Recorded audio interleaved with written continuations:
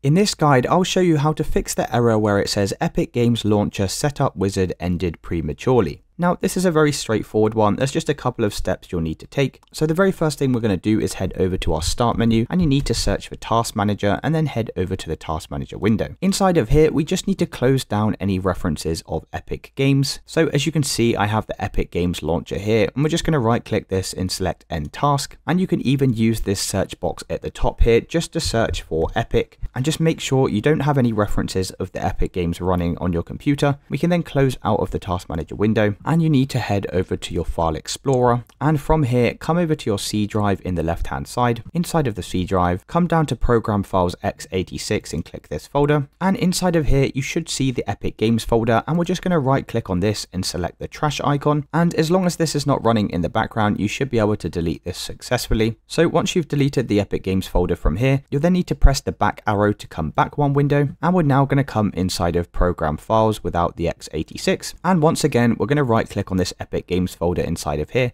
and we're going to press the trash icon to delete it and once again give this a few seconds to delete. So once you've successfully deleted these two folders, we can then close out of this window and you'll need to head over to an internet browser and you'll need to come over to this website store.epicgames.com backslash download and you'll need to re-download the Epic Games launcher. So if I just click this download button here and we can then open the installer file and once you launch the installer, you'll have these two options here and we just need to select remove from the bottom, click on remove and now give this a few seconds to complete. And once that's done, we can then hit finish. And then what you'll need to do is relaunch the installer. And this time we're going to click on repair and then just click this repair button here. And once that's completed, if I now double click on the Epic Games launcher, you can now see that that's fixed the issue and the error message has now been removed. Now, if this video did help you, then please consider dropping a like and subscribing.